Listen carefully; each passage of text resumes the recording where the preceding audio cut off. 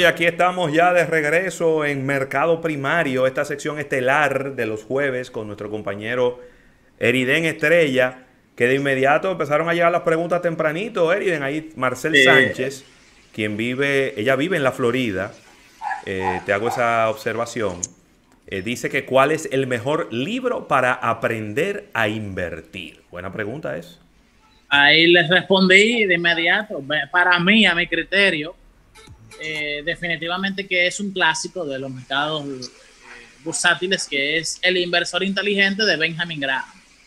¿Por qué lo digo? Porque hay muchas filosofías de inversión, o sea, realmente hay corrientes de pensamiento de inversión, pero eh, la inversión en valor, el value investment, que fue desarrollado por este señor, es como la más antigua, la más tradicional, y realmente lo bueno es darle estructura a su criterio de inversión. Si usted aprende la filosofía de inversión más antigua y la más fundamental, la más básica, entender las otras se le hace sumamente fácil. Excelente. Entonces es como que el mejor eh, building block, el, primer blog de conocimiento que usted debe de tener para invertir y luego de ahí usted puede salir y, y expandirse todo lo que usted quiera. Pero es el primero, a mi criterio. Buenísimo. Después de ahí hay otras dos preguntas que son sumamente importantes que yo son tan importantes que prefiero responderlas antes que el tema principal de la sección. Eh, el tema de los plátanos en la República Dominicana eh, y el tema del si hay petróleo en la República Dominicana. Primero, ¿qué es lo que está pasando con los plátanos? Que realmente es un tema muy serio. Eh, fíjense, ah, ¿cómo le explico de manera sencilla? Es muy sencillo realmente lo que está pasando. Lo que pasa es que si a nosotros nos ha dado duro la pandemia y las consecuencias económicas de la pandemia, a Haití le ha dado peor. Sí. Porque en Haití de por sí ya no se produce. Haití no tiene independencia, eh, autonomía alimenticia. Entonces, fíjense. Eh, long story short. Resumen. Lo que pasa es que aquí vienen en el mercado de Neiva, que es donde se produce la mayor cantidad de plátano de la República Dominicana.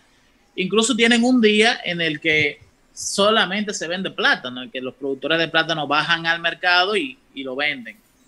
Eh, miren, lo que está pasando es que los haitianos, eh, los comerciantes haitianos vienen a la República Dominicana. El plátano es altamente, eh, es fundamental para la comida, el diario Bedir y el sostenimiento de, nuestro vecino pueblo. Y en esencia es que el, el, comerciante haitiano lo compra, compra el plátano dominicano al precio que esté. Lo compran al precio que esté porque no tienen otra opción, porque es altamente demandado y ellos no producen plátano. La producción de plátano de Haití es una cosa irrisoria.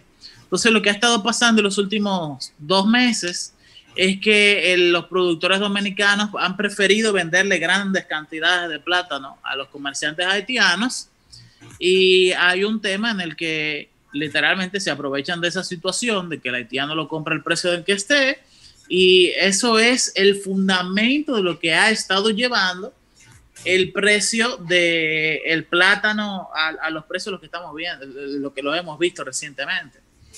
Eh, y yo quiero aclarar una cosa. Yo sé que hay demasiada gente que no quiere saber de Haití y que ah, el tema de Haití se mezcla con 10.000 disparates más que andan en Internet, sobre todo en, la dominicanidad. Pero los, es una realidad económica, es que la República Dominicana le vende muchos productos, Haití nos compra muchos productos a nosotros. Y cualquiera podría pensar que hay que darle prioridad al consumo interno en lugar del, del, consumo externo. Bueno, pues eso no es, eso no es libre mercado. ¿no? Eh, lo cierto es que los productores de plátano le venden a quien le venda, diga, a quien les compre a mayor A quien le dé más rentabilidad. Exactamente. Y el, el haitiano, miren, como lo he dicho y he estado confirmando esto, eh, varios contactos que tengo en San Juan, he estado preguntando, ah, ¿qué es lo que está pasando allá? Hay, hay, un problema de producción. No, este año se ha producido más, muchísimo plátano. El tema está en que asimismo Haití ha tenido serios problemas de abastecimiento de comida y los comerciantes haitianos que no siembran, no siembran, que no hay vienen a la República Dominicana. Exactamente, vienen a la República Dominicana, compran el plátano al precio que sea y eso es parte de lo que lleva el precio del plátano hacia arriba, que es lo que ha estado pasando últimamente. Incluso yo entiendo que hay autoridades, sobre todo el nuevo ministro de Agricultura, sabe muy bien lo que yo estoy hablando porque lo conoce a profundidad, pero lamentablemente no necesariamente es conocimiento del pueblo eh, común. Pero eso es lo que ha estado pasando, señores. Es el hecho de que... Mira, Eriden, y, ahí mismo eh, conectando con ese tema de Haití, hay, un, hay una noticia que ha preocupado e inclusive la ADOEXPO, Asociación Dominicana de Exportadores, se ha pronunciado al respecto de unos nuevos cargos que se le están colocando a los contenedores cuando son desaduanizados en, Haití. Creo que son unos 800 dólares por contenedor. Es decir, estamos hablando de un billete. ¿eh? ¿Tú, ¿Tú estás enterado de esa situación? Eh, no, no estaba enterado de eso. Son Pero eso lo cobra Haití. No, allá, cuando se desaduanizan allá. Ok, por lo tanto, ese ingreso lo tiene Haití, no nosotros. Claro, es un ingreso que tiene el pueblo Haití, pero lo tiene que pagar el exportador. ¿Cómo que el exportador tiene que pagar eso? Tú nada más se lo tiene que transferir al final, al, al precio final. Y ya. Pero imagínate tú, si ya de entrada le estamos agregando, eso puede desincentivar la compra de artículos eh, en, el mercado dominicano y favorecer la compra de otros artículos de otros países donde que a lo mejor no le están cobrando esos 800 dólares. Sí, pero tú lo que tienes que hacer es que si tú eres el... Somos nosotros que estamos exportando. Vamos a estar claros. Somos nosotros que estamos sacando productos de aquí para venderlo en Haití. Si no te es rentable venderlo en Haití, búscate otro mercado. Si a Haití no le interesa Haití está en toda la soberanía de ellos de ponerle un arancel a lo que venga de la República Dominicana. Ahí de la misma forma, no, eso no es ningún problema. Oye, ¿qué es lo que oh, pasa? Es que si Donald, sí, sí, espérate, es que hay, vuelvo y digo, hay un tema de lo que es el libre mercado y soberanía tributaria. Sí. Si Estados Unidos le da la gana de decir, todos estos productos que vienen de China tienen un arancel de 20%, nadie puede discutir eso. Eso es así. Estamos de acuerdo, pero para eso existen los convenios y los acuerdos. No, no, no, no, no, no, no, no, no, no, no, no, es que no. Es, que, nosotros no tenemos un tratado de libre comercio con Haití. Ninguno. No, no lo tenemos, no lo tenemos, pero eso mismo pasa con los huevos. Los productores de huevos, cuando quieren cruzar la frontera, le, a los productores de huevos de aquí se la ponen en China. Sí, y tienen que, tienen que coger una comisión para allá a negociar. Y entonces, si no lo venden en Haití, tenemos nosotros que recibir esos huevos y quién sabe la pérdida que tienen los productores de huevos aquí. Eso pasa mucho, Eriden. si, bien, es cierto que cada quien tiene soberanía, no menos cierto, es que para eso es que existen las, las relaciones bilaterales, porque debe haber unas reglas de, un, de juego, ¿verdad? Que sean competitivas. No, no, no. Eh, eh, la realidad es que prácticamente no hay forma de perderle dinero al huevo en la República Dominicana. Porque si hay una industria altísimamente eficiente, es la producción de pollo en la República. Todo lo que tenga que ver con pollo Nosotros tenemos uno de los mejores, una de las mejores industrias de producción de pollo que hay en el Caribe. Punto. Sí, eh, eso es cierto. déjame, déjame terminar. El tema está en que si Haití no nos quiere comprar nada a nosotros, nos eh, están haciendo un favor. Porque hay 10 mil otros países más. Sí, señor. Que quieren comprar huevos y que lo pagan en dólares. Sí, yo te entiendo eso. Lo que pasa es que tenemos que tomar en cuenta cuál es la realidad de los, de los exportadores que van y negocian con Haití. ¿Cuál es la realidad? ¿Cuál es, cuál es vamos a decirlo así, el, el modus operandi de ellos? Esto que señala José Luis es muy interesante y, óyeme, se está haciendo ya eh, un reclamo. La asociación ADOEXPO, la Asociación Dominicana de Exportadores, está reclamando que eso es un costo exorbitante, aproximadamente 800 dólares establecidos sin contar el 27% de los impuestos sobre la renta que deben ser pagados por servicio del exterior. Sí, pero Haití está en su derecho de ponerle lancera lo que ellos quieran.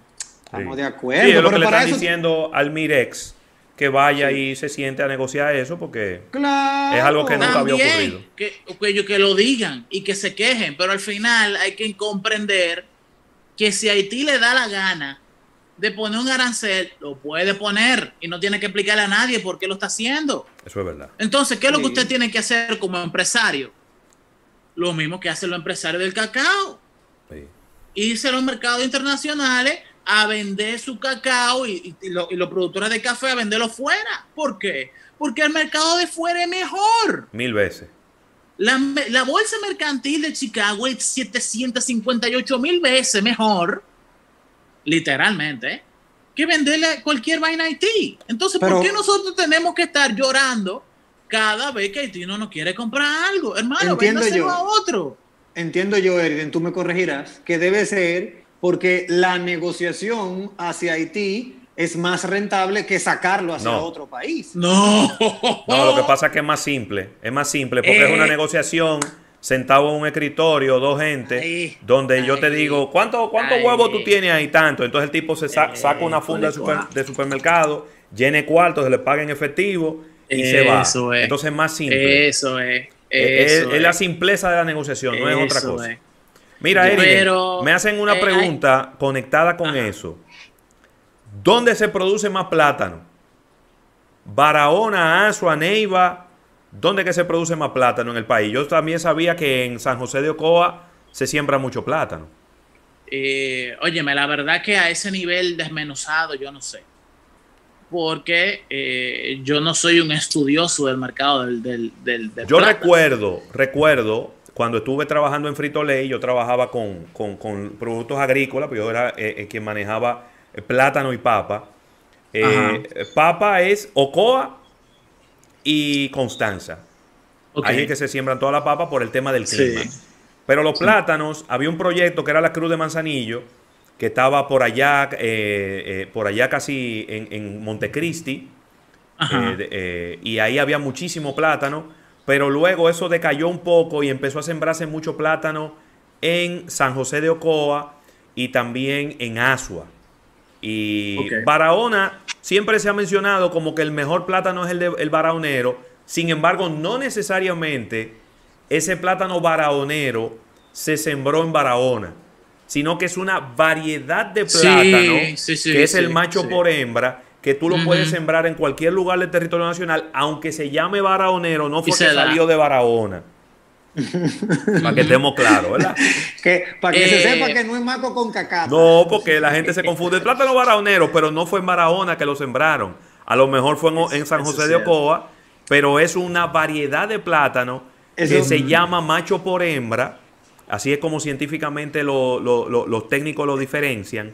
Y tú lo puedes sembrar en cualquier lado. También está el FIA 21, que es un plátano que se hizo muy popular después de que Frito Lay lo introdujo en la República Dominicana, porque es un plátano muy grande, aunque tiene un sabor un poco menos eh, marcado, menos intenso.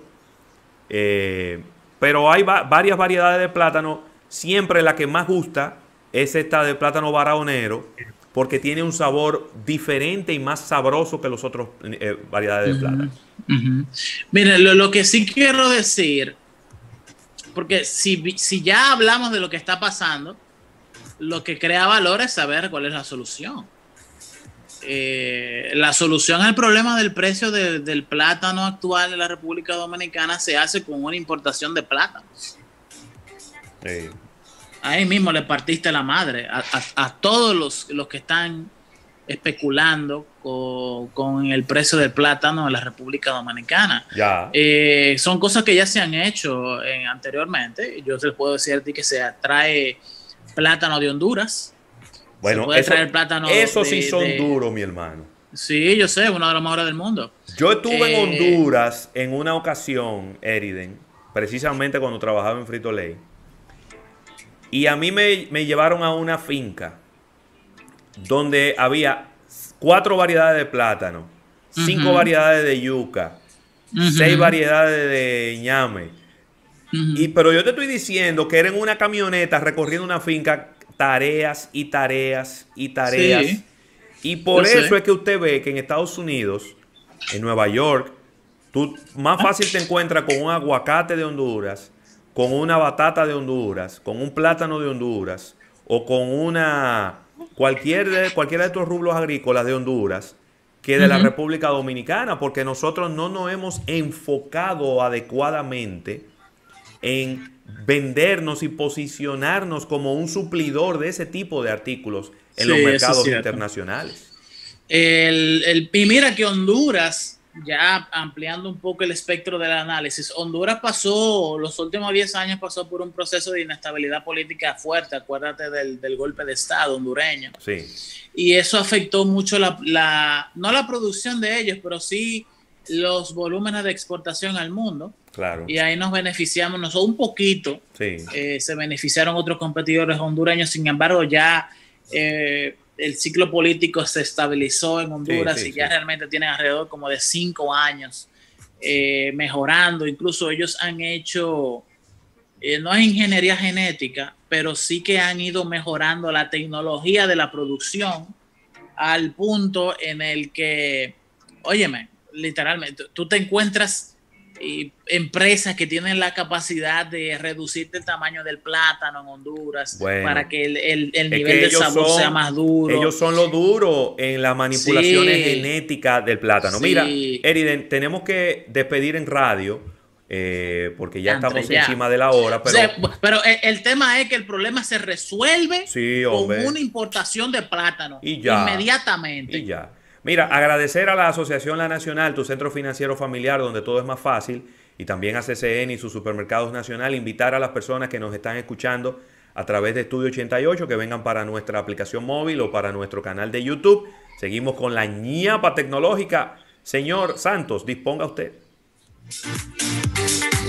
Hey amigos, Isaac Ramírez de Almuerzo de Negocios. Si te gustó el contenido que acabas de ver, compártelo con todos tus amigos y familiares. Suscríbete para más y activa la campanita para que esté notificado inmediatamente subamos nuevos contenidos.